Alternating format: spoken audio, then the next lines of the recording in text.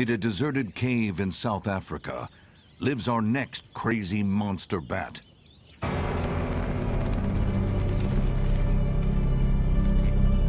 The horseshoe bat weighs as little as an empty paper cup. But don't let its small size fool you.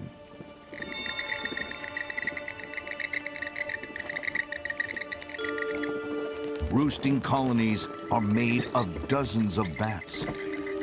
And these cave dwellers sleep, fly, hunt, and eat in complete darkness.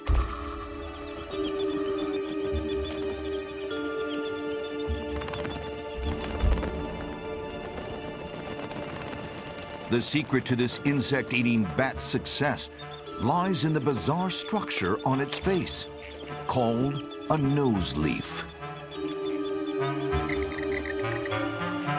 It may look like something straight out of your nightmares, but this ugly mug has a very specific purpose. The horseshoe bat's fleshy nose leaf can move and curve to modify its acoustics. The bat releases sound pulses through its nostrils. The structure around the nostrils acts like a megaphone to amplify and direct certain frequencies. The sound waves move out, and as they hit objects, they echo back to the bat. These echoes fall on the bat's enormous dynamic ears that can adjust in shape and angle to filter the sound more efficiently. Faster than you can blink your eye, the bat can tell how far the object is, what shape it is, and if it's moving or not. And this has turned the horseshoe bat into a ruler of darkness.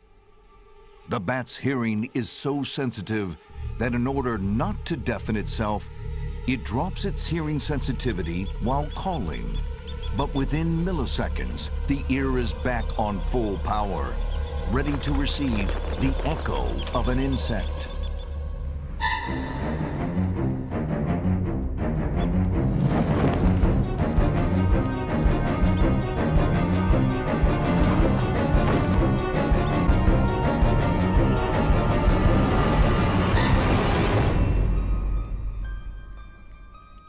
And if you think the insect hunting abilities of the horseshoe bat is impressive, wait until you see what our next wing freak feeds on.